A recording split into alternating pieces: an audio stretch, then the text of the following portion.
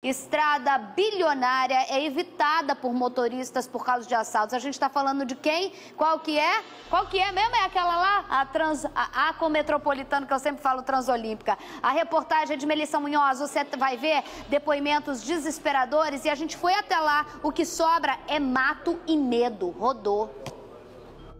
A modernidade da obra bilionária deu lugar a um único sentimento: de insegurança. Uma pista que está abandonada, que não tem um posto, um posto policial, não tem um posto de gasolina, não tem uma segurança nenhuma.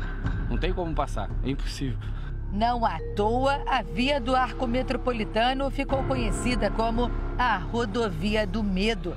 A gente passa pavor às vezes de dia aí na pista, porque passa um carro e a gente já suspeito, já fica nervoso. É preocupante. O projeto, que custou 2 bilhões e foi inaugurado em 2014, se encontra abandonado. As margens da via estão com mato alto e o policiamento é precário a qualquer hora do dia. Durante todo o percurso entre Itaguaí e Duque de Caxias, não vimos nenhuma viatura da Polícia Militar. Infelizmente é muito seguro, violência lá só aumenta. De janeiro a outubro deste ano, foram registrados 860 roubos no arco.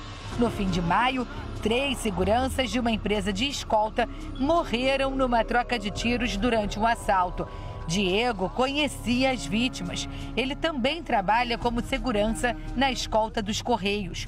O medo toma conta da rotina e o jeito é evitar transitar pela via. A gente não passa, né? Porque se a gente passar, a gente sabe que é morte na certa. Se durante o dia a rodovia é deserta e perigosa, imagine à noite. O trecho aqui em Japeri oferece ainda um maior risco, porque os postes com iluminação solar estão sendo derrubados pelos bandidos.